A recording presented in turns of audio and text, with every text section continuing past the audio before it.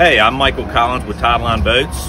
Uh, we're at the Miami Boat Show 2022. This is our Model 36 offshore. Uh, you can see here this one's come hardtop, full lounge up front. We can walk back here in the back and see what's powering it.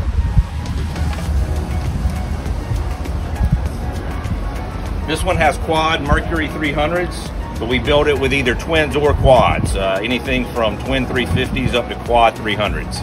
Uh, so it really gives you a choice whether you want to for maximum speed or ease of maintenance. Uh, we've got huge bilge access. This is a bench seat in the back. We can also offer two seats with a sink station in the middle.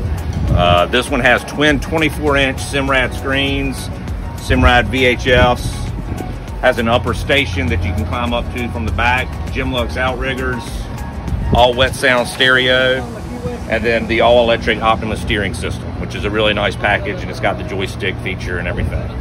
Um, so yeah, if you guys are down the show, come give us a look.